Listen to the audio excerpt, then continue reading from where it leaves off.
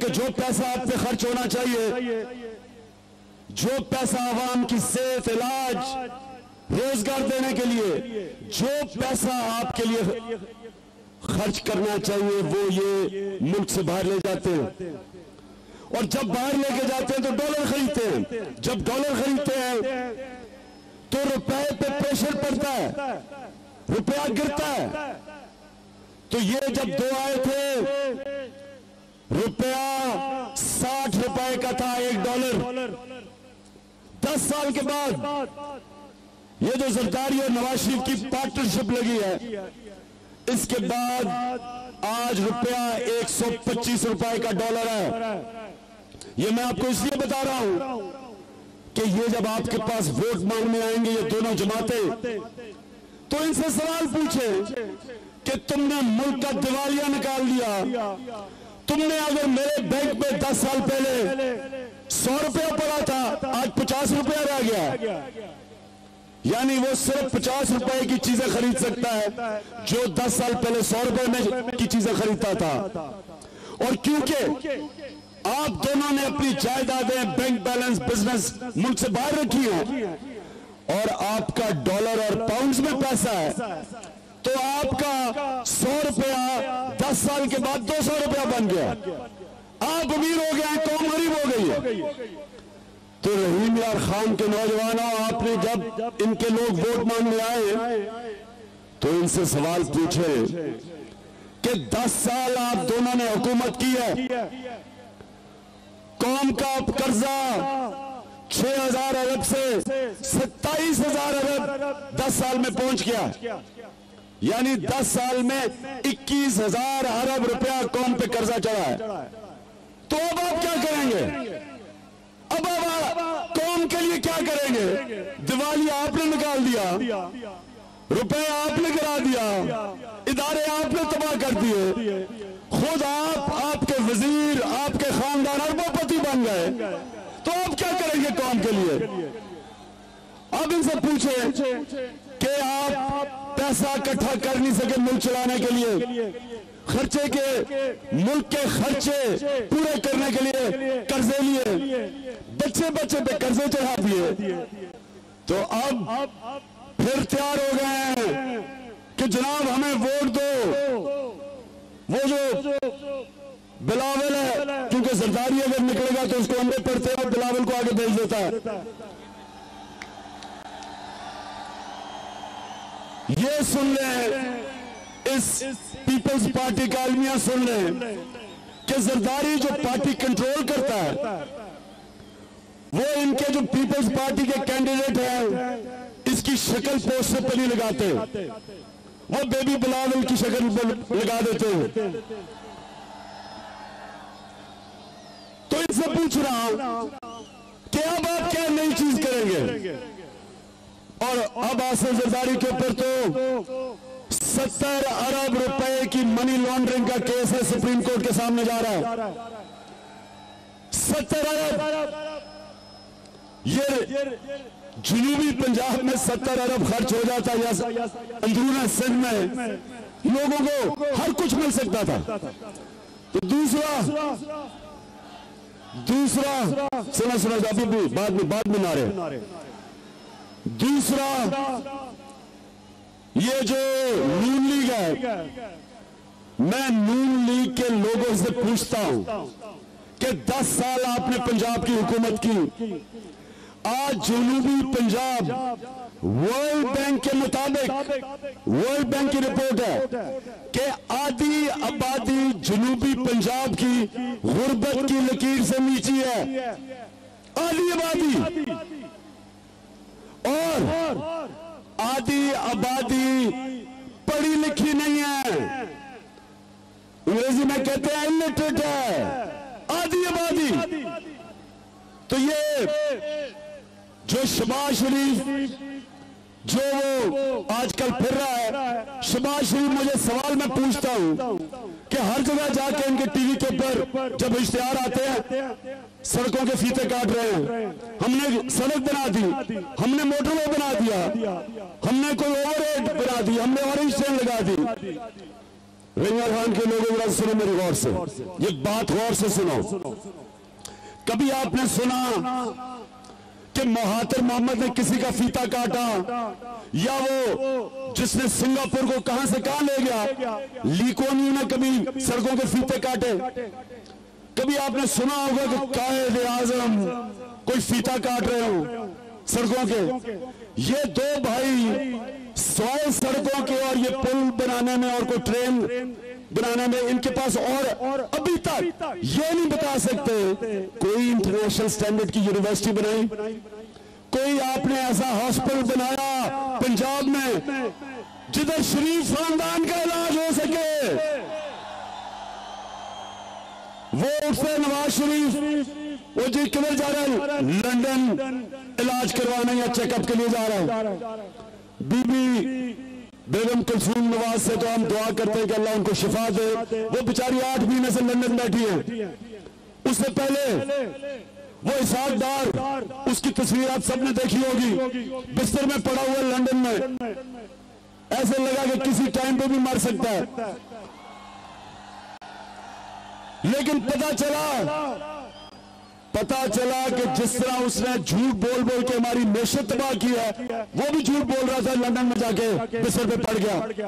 اچھا تو اسحاق ڈار اگر باہر جا، اگر تو نے ڈرامہ ہی کرنا تھا کہ میں بیمار ہوں، تو میرے ہاسپٹل کے بستر میں جا کے لیٹ جاتا نہیں، لندن گیا۔ بستر میں لیٹنے کے بھی لندن گیا۔ پھر جناب، شباز شریف، وہ ہر ہر کوئی دو تین مہینے کے بعد لندن چلا جاتا ہے۔ چیک اپ کروانے۔ کوئی پاکستان میں اسپتال نہیں بنا اس کا چیک اپ کے لیے۔ پھر پتا چلا کہ وہ ان کے دماغ، شباز شریف کا دماغ ایک دم نیب نے بلایا تو ایک دم پتا چلا وہ بھی بار علاج کروانے چلا گیا۔ تو میں ان سے پوچھتا ہوں کہ آج تک پنجاب میں ایک ہسپتال نہیں بنا سکے جدھر شریف خاندان کا علاج ہو۔ اور کدھر دیکھتے ہیں؟ فیتے کاٹ رہے ہیں۔ سڑک ہے فیتے پی وی ایڈ ہے فیتے۔ اگر کنسٹرکشن اگر اچھی کنسٹرکشن کے لیے تمہیں ہم وزیر اعظم بنائے اور تم کہتے ہو کہ ہمیں اس لیے وزیر اعظم بناؤ کہ میں اوور ہیڈ پارسز اور سڑکیں بناتا ہوں۔ تم مجھے یہ بتاؤ کہ ملک ریاض بیریوں کا کیوں نہ وزیر اعظم بنا دے؟ وہ بہتر سڑکیں بنا لیتا ہے، وہ آدھی قیمت میں گھر بنا لیتا ہے۔ اگر یہی ہے وزیر اعظم بنانا جی وہ سڑکیں بنا رہا ہے۔ اور میں، مجھے پتا شباز شریف، تم سنو ذرا، میں اب تمہارے پیچھے آ رہا ہوں۔ تمہیں میں نے جو تم نے پنجاب کو لوٹا دس سال جو تم نے پنجاب کو لوٹا انشاءاللہ انشاءاللہ میں تمہیں جیل کے اندر ڈلوا کے رہوں گا۔ ثابت کروں گا۔ ثابت کروں گا۔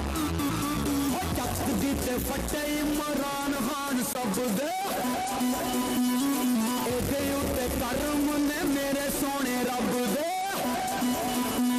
وہ چک دیتے فٹے عمران خان سب دے ایدے اتے کرم نے میرے اچھا شباز شریف۔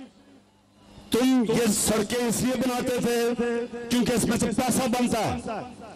تم نے یہ جو میٹرو اورنج ٹرین اس لیے بنائی کہ تم نے پیسہ بنانا تھا۔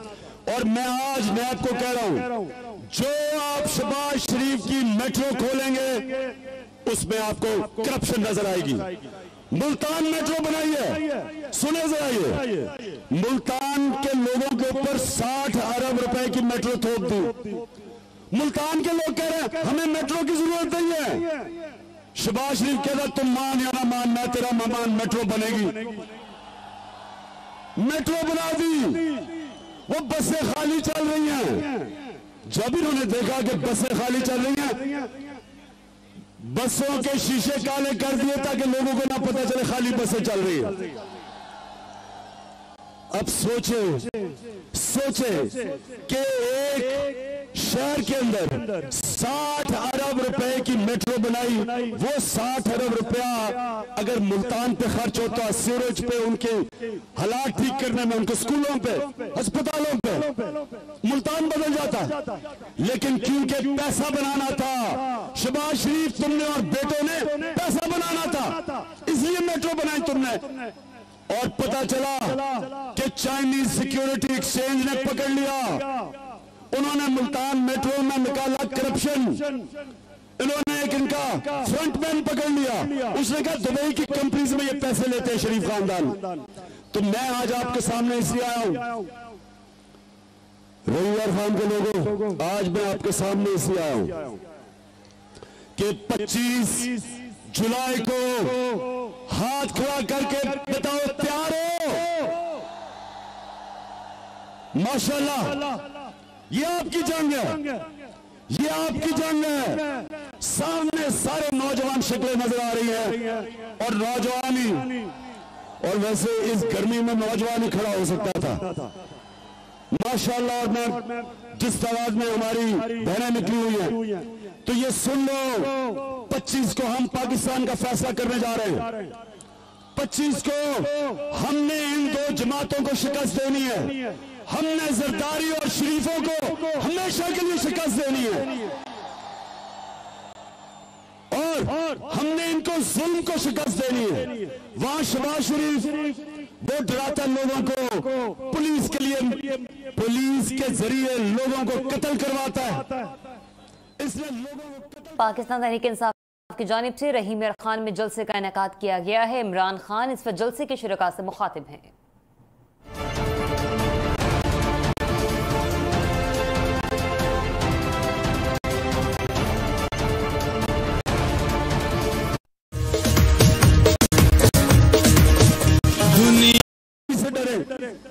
یہ انشاءاللہ ہم آپ کو کر کے دکھائیں گے۔ پانی کی پالیسی لے کے آئیں گے۔ شارٹ ٹرم اور لانگ ٹرم کہ کیسے ہم نے پاکستان کے لوگوں کو پانی دینا ہے۔ بادشاہ ڈیم انشاءاللہ آتے ساتھ ہی اس کے اوپر تیزی سے کنسٹرکشن شروع کریں گے۔ اس کی شدید ضرورت ہے بادشاہ ڈیم کی ریزروار کی ضرورت ہے۔ واٹر کنزرویشن کریں گے۔ پانی کی ری سائکلنگ کریں گے. جو پانی ضائع ہوتا ہے اس کو روکیں گے اس کو صحیح استعمال کریں گے. کسانوں کے لیے جو پرانا طریقہ پانی دینے کا سیلاب لے آتے ہیں یعنی پورا پانی لگا دیتے ہیں کھیت کو۔ یہ تو منجو داروں کے زمانے سے وہ پانی کا طریقہ تھا۔ نئے طریقے نکلا ہے تھوڑے سے پانی میں زیادہ آپ فصلیں اگا سکتے ہیں۔ انشاءاللہ یہ آپ کو لا کے دکھائیں گے۔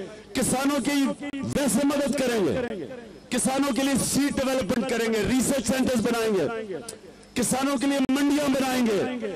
ہر وہ کام کریں گے۔ جس سے کسان کو پیسہ بنے، تاکہ وہ پیسہ اپنی زمین پہ لگائے، تاکہ جب زمین پہ لگائے گا پیداوار بڑھے گی، پیداوار بڑھے گی، پاکستان میں خوشحالی آئے گی، انشاءاللہ انقلاب لے کے آئیں گے، خوشحالی کا۔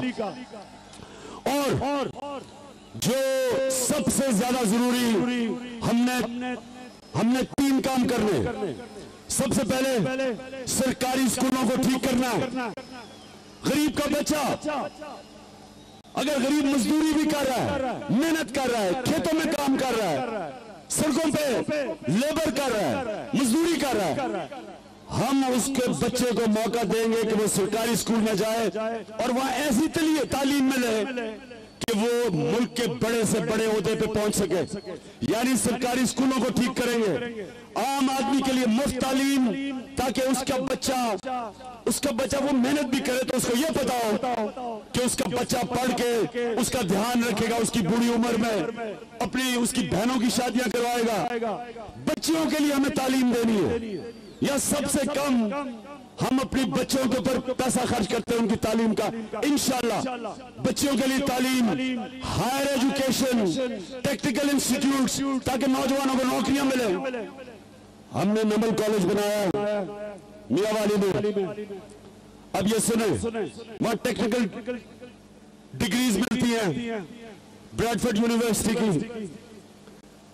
نوے فیصد بچے وہاں نوجوان اسکالرشپ پہ مفت پڑھ رہے ہیں۔ پچہتر فیصد بچے اردو میڈیم اسکیموں سے آئے ہوئے ہیں، پڑھ رہے ہیں۔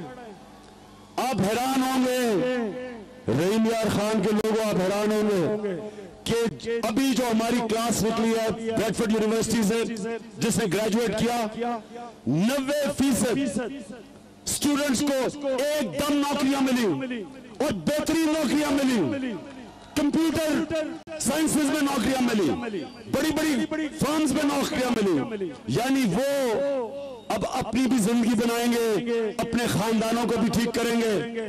غریب گھرانوں سے لڑکے آئے ہوئے تھے۔ اسی طرح سارے پاکستان میں ٹیکٹیکل انسٹیٹیوٹ چاہیے، تاکہ بچے، نوجوان، ہماری ینگ آبادی ہے، تاکہ ہم ان کو پڑھا دیں، ان کو ہنر سکھا دیں، تاکہ یہ خود اپنی بزنس کر سکیں۔ کام کر سکیں۔ ان کو نوکریاں ملیں۔ اگر باہر بھی جائیں تو مزدوری نہ کریں۔ ایسی نوکری کریں کہ وہاں زیادہ پیسہ بنائیں اور واپس بھیجیں۔ تو انشاءاللہ یہ جو انقلاب آئے گا، اپنے نوجوان آبادی کو جو ابھی بوجھ بنی ہوئی ہے، جدھر بے روزگاروں کی فوج ہے، نوجوان نوکریوں کو بغیر پھر رہا ہے۔ غلط طرف جا رہا ہے، منشیات کی طرف جا رہا ہے، جرم کی طرف جا رہا ہے، کیونکہ بے روزگار ہے۔ اسی کو، اس کمزوری کو اپنی طاقت بنائیں گے۔ یہی نوجوان انشاءاللہ پاکستان کو اٹھا دیں گے۔ انہی نوجوانوں کے اوپر پیسہ خرچ کر کے انویسٹ کر کے یہ ہوگی ہماری اصل طاقت۔ ہماری اس ملک کی طاقت ہمارے نوجوان ہوں گے۔ اور یہ نوجوان نیا پاکستان بنا کے دکھائیں گے۔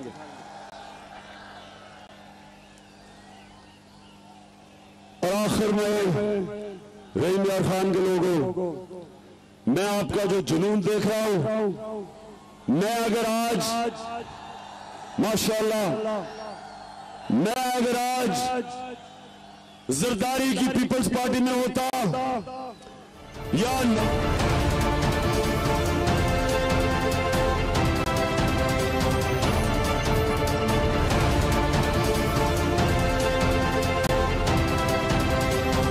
کون ہے مشکلات سے دوچار؟ اقتدار میں